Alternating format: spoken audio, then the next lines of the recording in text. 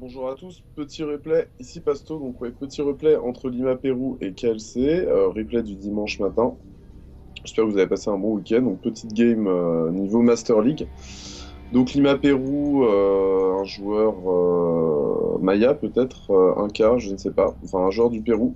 Non, en fait, ça doit être un joueur français parce qu'il il répond au prénom de William, mais il doit être fan de la civilisation Maya. hein. je vous rappelle à ne pas confondre avec les Incas et les Aztèques. hein. Les Incas et les Aztèques, c'était plutôt Mexique, euh, Colombie. Et les Mayas, bah, c'est le Pérou, le lac Titicaca, machin, truc, enfin bref. Si vous avez fait le trek de l'Inca, euh, vous savez de quoi je parle, quoi. Donc une ouverture euh, bah, sur la B2 hein, de notre joueur Maya préféré. Pas confondre avec Maya l'abeille. Pouette pouette, super la blague. Euh, le joueur euh, Zerg est en train de balancer bah, ses petits drones. hein, euh, un début de match-up assez particulier. Donc je sais pas ce que vous avez fait ce week-end, vous, mais moi je me suis mis une bonne tôle vendredi soir au BDM dans le 6ème. Et après, samedi, bah, il y avait un pote qui avait organisé une petite LAN. On était 6-7 euh, là-bas.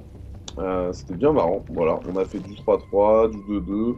On a aussi fait un petit tournoi en 1-1 où euh, j'ai joué d'ailleurs aléatoire et où, euh, où, bah voilà, j'ai gagné la plupart de mes games, sauf quand je suis tombé sur Zerg contre un joueur Protoss qui campait pas mal et qui m'a sorti un, énorme perfect ball avec Mothership, etc.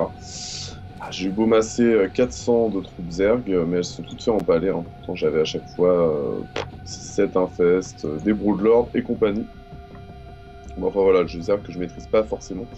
Donc petite probe là qui, a été envoyée euh, en mode, euh, patrouille pour empêcher la pose de B2. Genre Zerg qui n'en a que Phi et qui va poser une B3. Ça, ça peut être pas mal hein, pour éviter de perdre du temps. Directement B2 sur la B3. Quelques petits lignes de sortie, voilà, c'est ce qui va être fait. Et bam, on shoot cette probe, ou, en- ou tout du moins on la fait fuir. et on peut poser B3 sur la B2. Donc B2 sur la B3, B3 sur la B2, un peu compliqué.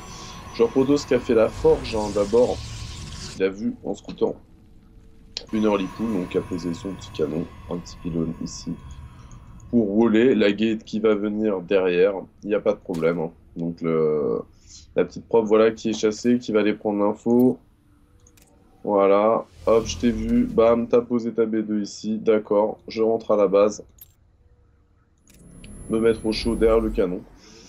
Euh, alors, est-ce que toi ça va passer? Tiens, d'ailleurs, petit détail intéressant là, il a mis euh, sa probe en hold position ici, voilà, pour pouvoir rouler, éviter les roundbacks de Zergling.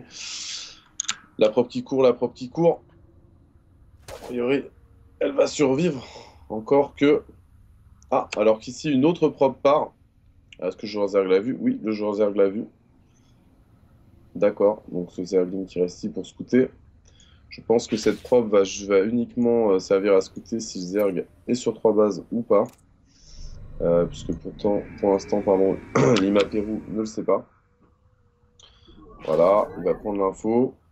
Bam, voilà, c'est bon. T'as pris B3 sur B2 et B2 sur B3. Je sais à quoi m'attendre, je sais que je vais être tranquille, je sais que tu vas pas m'attaquer tout de suite, donc je vais pouvoir droner comme un porc. Alors là, euh, oui, d'accord, très bien. Donc une autre probe qui est sortie, euh, je, sais pas où elle est. Ah non, d'accord, elle est peut-être restée euh, que j'ai une alu. Non, non, ça va, non. Bah, le, petit probe qui rentre alors. Parfait, bah, aucun, aucun mort pour l'instant dans cette game. 0-0-0-0. Match nul, balle au centre. Le warp qui est recherché, ainsi que le plus en attaque. Petit point de probe quand même. Alors, petit point de probe, 23 à 31. Bon, bah voilà, finalement, Turbo Boost euh, efficacement utilisé euh, par notre ami Lima Perro, qui prend, a l'avantage d'ailleurs au, au niveau des drones. Je pense que le joueur Zerg, euh, voilà, va commencer à popper du, drone à fond. Euh, côté map control, c'est pas trop mal, hein, j'ai l'impression, pour le joueur Zerg. Voilà, ici, là, l'info. Il voit ce qui se passe, il voit ce qui sort de la gate, il voit le plus en attaque, il voit le turbo boost. Il est très bien placé, il voit la probe partir. Du coup, il va immédiatement l'intercepter. Ah non, il ne le... il n'a pas dû y faire attention. Probe qui est partie. Ici, il voit s'il y a pause euh, 2B3. On voit que ce n'est pas le cas. Il envoie un petit OV pour un peu voir ce qui se passe dans la base. Pérou de son côté, euh, bah, on va dire un match contrôle à la Protoss contre Zerg, hein, c'est-à-dire bien caché derrière le wood. Petite prop quand même qui intelligemment est, parti ici dans un, un endroit stratégique, peut-être proposer un petit pylône plus tard. Trois gates supplémentaires qui sont posés. C'est un attaque qui finit de se rechercher. L'Overlord là de Scout qui est chassé, Overlord qui, euh, qui, a spoté euh, les trois gates. Cependant pas beaucoup beaucoup d'infos. C'est qu'il y a un gaz qui vient d'être pris. Euh, trois gates, euh, une gate sur le, la choke et trois gates dans la base, c'est plutôt quelque chose de normal qui veut pas dire grand chose. Il n'y a pas le vue de conseil crépusculaire, alors est-ce que ça va partir éventuellement sur DT ou euh, sur des Darkroom Je ne sais pas. En tout cas, ce que je sais, c'est que Lima Perou a posé un petit pylône ici. Petit pylône qui a omis, je pense, de voir le, le joueur Zerg. Il a un bon map contrôle, il l'a fait dans la, dans la bonne zone. C'est vrai que le faire ici, ça aurait été moins efficace. Alors, qu'est-ce qu'il va faire? Bon, il envoie 4 Zealots et 3 Stalkers pas de problème. Des petits glings qui ne, vont pas suffire. Du coup, genre Zerg qui produit 20, pas moins de 20 Zerglings. Cependant, il n'y a pas le speed. Hein. Cependant, il n'y a pas le speed. Le speed est un peu late. Genre Zerg a semble-t-il pris ses gaz un peu trop tard. Le fight qui s'engage. Beau un des Zerglings, ça devrait être repoussé sans trop de problèmes. Le plus en attaque est-il euh, est-il est-il oui, le plus en attaque est recherché donc oui d'accord ça explique pourquoi le, le joueur Zerg de perdre quasiment ses, ses 20 Zerglings. Stalkers qui sont backés, il y en a deux qui sont vraiment limites en point de vie. Quelques zélotes qui sont rewarpés en plus. Alors je vous rappelle que, oulala, le, le joueur Protoss lance plus 2 d'attaque, d'accord. je vous rappelle qu'on est toujours sur euh, 3, 4 gates et que 3, 3 autres gates viennent d'être rajoutés. 4 autres gates même, donc euh, on va partir sur du gros 8 gates, sans robot. Le speed qui va se finir pour le Zerg. La B3 qui n'est pas tombée, donc pour l'instant le joueur Zerg tient. Il est en tier 2. Il n'y a pas d'observeur, ce serait peut-être intelligent de rechercher le bureau, le bureau Roach, pour pouvoir éventuellement contrer euh, cette arrêt, parce qu'il n'y a toujours pas de... Non, non, il n'y a absolument pas de, de robot. Ok, le, le qui est recherché. Une dernière bolée de Ah, le pylône qui est spoté. Pylône qui est spoté.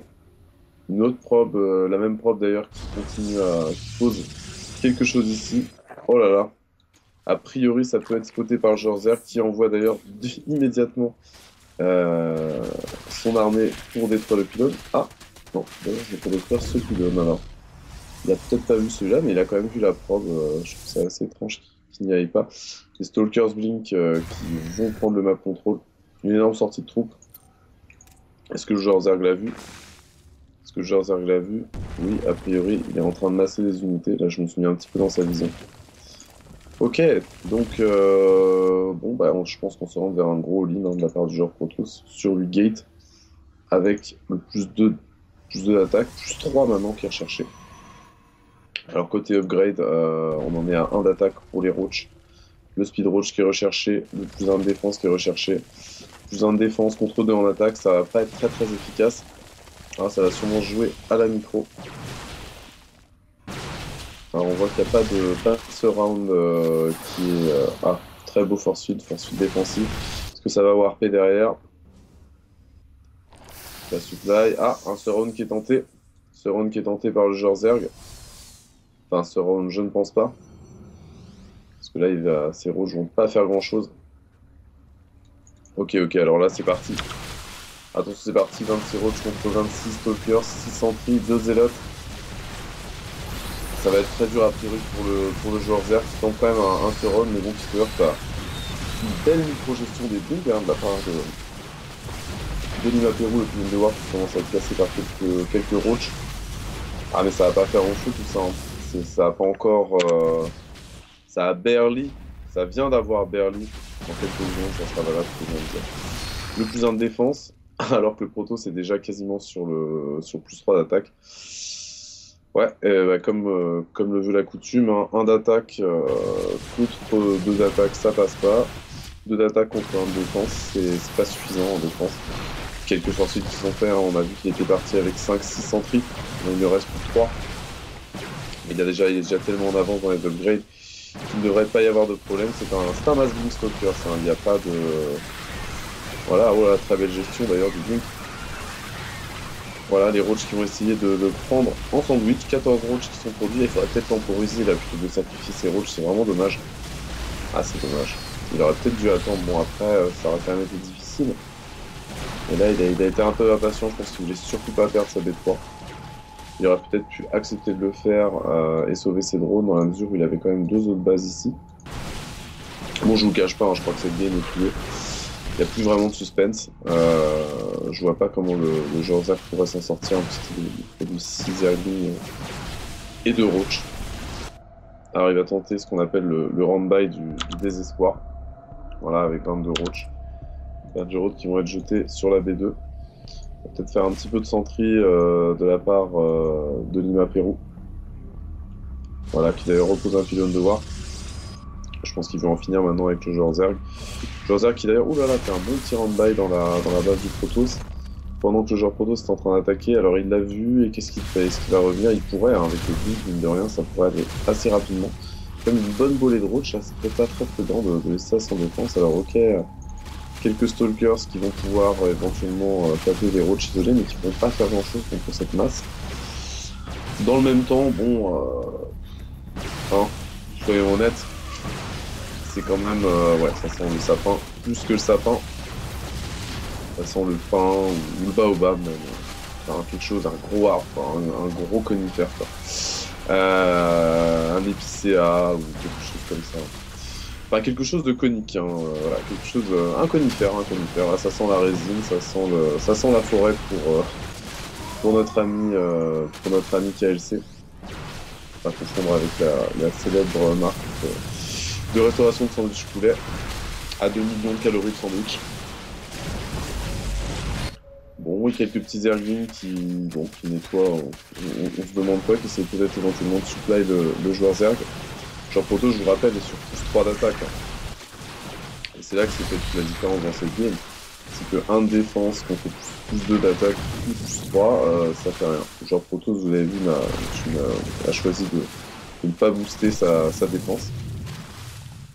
Il a visiblement bien défendu le push roach en, faisant quelques, quelques blinks.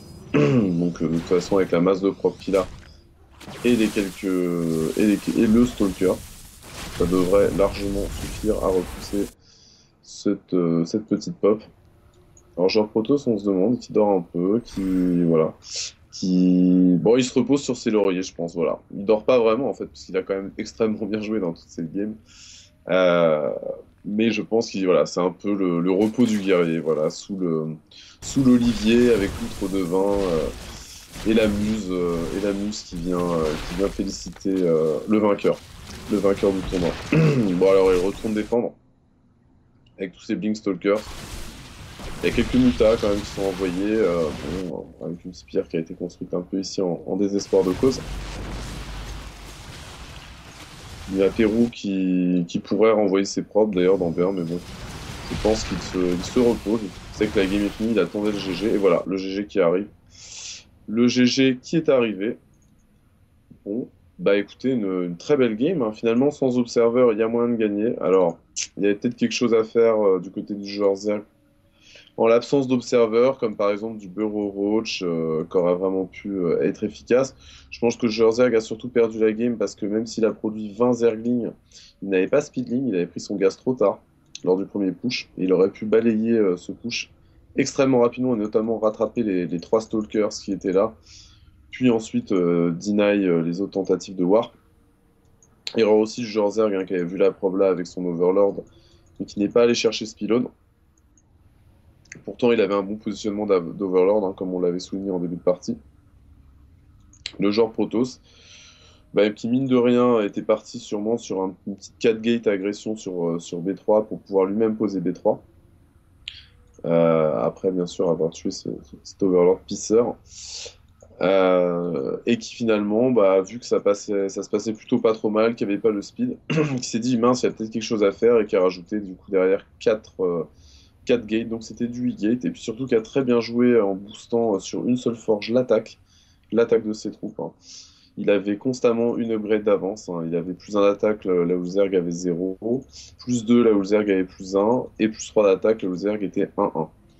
Donc euh, voilà, bah, écoutez, j'espère que cette game du dimanche euh, début d'après-midi vous a plu. Euh, moi en tout cas, j'ai bien kiffé mon week-end, hein, le petit lame dont je vous ai parlé. j'ai quelques autres games de Lima Pérou dans, mon, dans ma besace. J'allais dire dans ma buzzette, mais bon, je vois pas ce que ça veut dire, buzzette, buzzette, buzz, enfin bref. je referai quelques, quelques commandes de games de, Lima Pérou. Et, euh, et, le tuto force field est toujours, euh, toujours en train de se faire. Alors c'est pas évident, il faut trouver pas mal de, de games, de situations, euh, voire en créer. Ça, vous allez voir, ça sera réparti en, plusieurs chapitres. Hein. Il y a, je pense qu'il y a plus d'une douzaine d'utilisations de force field. Donc bon dimanche. si vous êtes Protoss, bah, faites du, plus 1, plus 2, plus 3 d'attaque contre Zerg. faites une pression, posez B3 ou faites comme notre ami Mapero attaquer. Euh, en gros, si vous êtes Zerg, n'oubliez pas de rechercher Speedling assez tôt quand même dans la game, parce que avec Speedling et ses 24 links, il aurait largement pu euh, buter les Stalkers. Et ensuite, avec la Queen et euh, les Zerglings, gérer tranquillement les Zélotes. Puis après, dans la foulée, poser B4 et, et, empêcher le Protoss de prendre B3, le laisser mort sur de base et gagner la game. Voilà, donc Protoss Simba, Zerg Imba, à vous de voir. En tout cas, c'est vrai que quelle que soit la race qu'on joue, on a toujours tendance à dire que c'est l'autre qui est Imba. A bientôt